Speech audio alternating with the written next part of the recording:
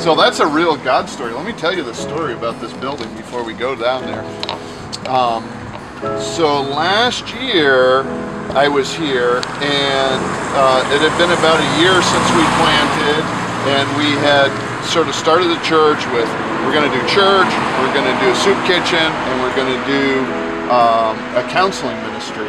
And um, God just put that verse on my heart from Ephesians 3, which I am capable of doing far more abundantly than you could ever think or imagine. And I'm like, that's not the kind of verse that you want when you're looking for vision. Like, come on, give me something, you know. But I uh, preached that verse when I got back, and everybody was like, well, what does that mean, you know? the following Wednesday, I got a call from a guy, wasn't even in our congregation. He said, the Lord has put it on my heart to buy you guys a house.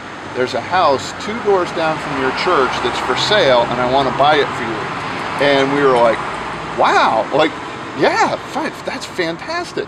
So he gave me the contact information. I contacted the family and the family, when they heard what we were going to be doing, said, uh, we're really sorry, but the house is not for sale. And we were like, oh, wow. I said, we've heard what you're going to do, and we're just going to give you the house.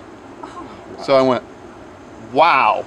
And so then after that, um, I called the donor back and I said, hey, look, um, the, the family's just going to gift us the house. Um, and he said, well, God's told me to give you this money, so I'm giving you the money to help fix it up.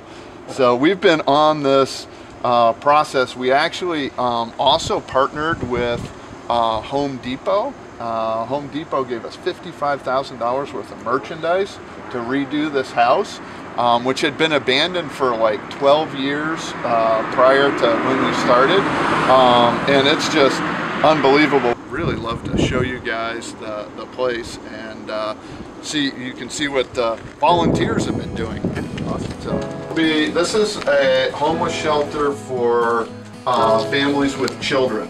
Currently, there is no um, family shelter in central Vermont. When families are homeless here, they have to go to Burlington, which is like an hour away, or White River Junction, which is an hour south. So this will be the first sort of facility um, of its type, and really, um, you know, we pray that families will be uh, able to come here, be transformed not only physically but spiritually as well.